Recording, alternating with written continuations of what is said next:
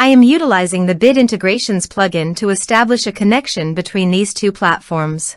Let's go to Bit Integration Dashboard. Click on Create Integration. Search for Tripetto Form. Select a form. Click on Next. Now here search and select Capsule CRM.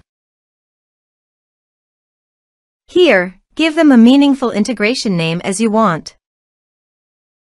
To get API URL, go to Capsule CRM dashboard. Click Profile Name on the top right corner. Now click Account and Plan. Now, navigate the account setting and copy the site address. Paste it here.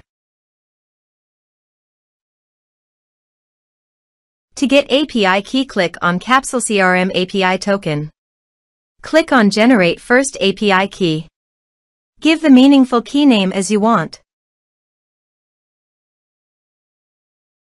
Enable all scope of this token, click Generate Token. Now copy the API key and paste it here. Now click Authorize. Authorization is successful. Click Next. Now select the action. Now map the field.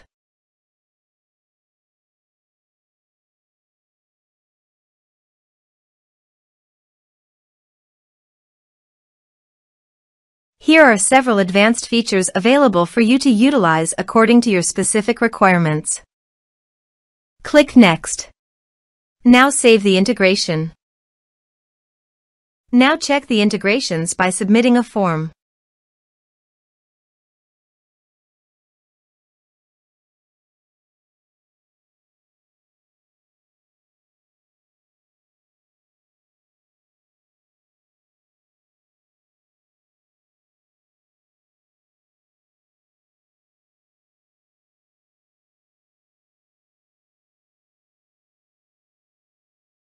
Form submitted successfully.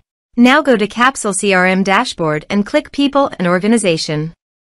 Here's the data that came into Capsule CRM through the integration. Thanks for watching.